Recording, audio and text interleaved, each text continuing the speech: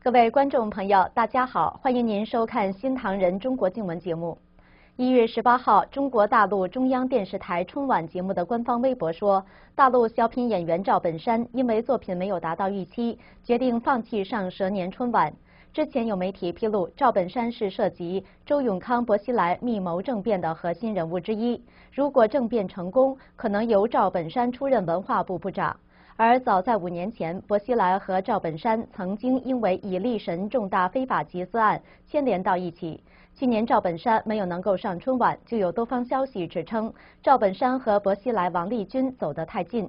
这次春晚，赵本山再次被拒绝。有评论认为，目前正是薄熙来案开审的前刻，赵本山不能够参加春晚，绝对不是节目不够好这样简单的理由。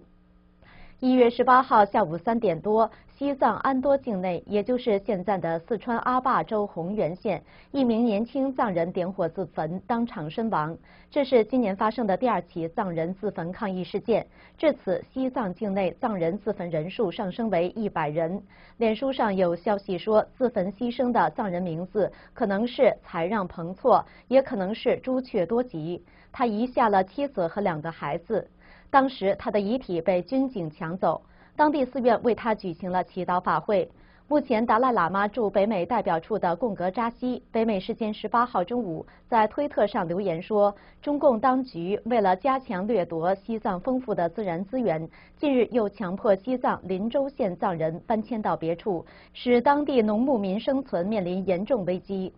十八号下午，中国天网人权事务中心刊登涉嫌严重违纪被免职的原四川省委副书记李春城入狱前时常出入的神秘别墅起步居的照片。